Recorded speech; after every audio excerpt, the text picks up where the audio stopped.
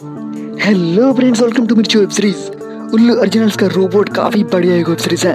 धुरंधर जी के ऑफ़िस यानी कि कास्टम ऑफ़िस में फिर से बीसी चड्डा आ चुका था और अपने पार्सल लेने के लिए आया था वो लेकिन सारे लोग उसको गुमराह करता रहा, क्योंकि असल में गुड वाले साहब, चड्डा सबको एक पार्सल नहीं देना चाहती थी, क्योंकि उसके अंदर रोजी नाम का एक लेडी रोबोट थी।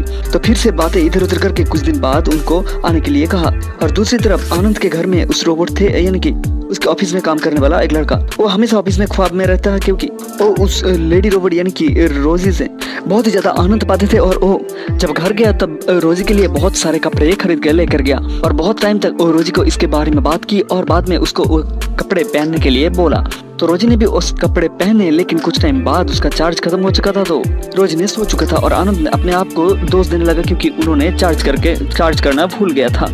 तो आनंद ने तो सो चुका था, लेकिन सोते सोते वो रोजी को अपने सपने में देख रहा था और सपने में वो देखा कि रोजी ने बहुत ही ज़्यादा खूबसूरत एक कपड़े पहन के उसके सामने आई है और वो आनंद के साथ बहुत टाइम तक उसको एंटरटेनमेंट कर रहा है और इसे आनंद भी बहुत ही ज़्यादा खुश हो रहा है। लेकिन अब अगले दिन सुबह जब आनंद फिर से रोजी के साथ बातें कर रहा था, तब उसके बॉस, यानी कि धुरंधर जी ने बार बार फ़ोन लगाया था क्योंकि धुरंधर जी को उस रोबोट चाहिए था। लेकिन आनंद ने उसको एक भी कॉल नहीं उठाया क्योंकि वो रोजी के साथ व्यस्त थे। लेकिन आप अगले एपिसोड में देखेंगे कि कैसे धुरंधर जी आनंद के ही घर में आ जाते हैं और क्या हल्ला मस्ता है। ये उल्लू अर्जुन का काफ़ी बढ़िया एक वेब सीरीज़ है। इसी तरह से उल्लू अर्जुन का हर एक वेब सीरीज़ का अपडेट्स पाने के लिए हमारे चैनल मिर्च वेब सीरीज़ को ज़रूर सब्सक्राइब कीजिए और इस वीडियो को ज़रूर लाइक करें। मिलते हैं अगले वीडियो में, तब तक ले खुश रहिए और देखते रहिए Mirchi web series YouTube channel को। Thank you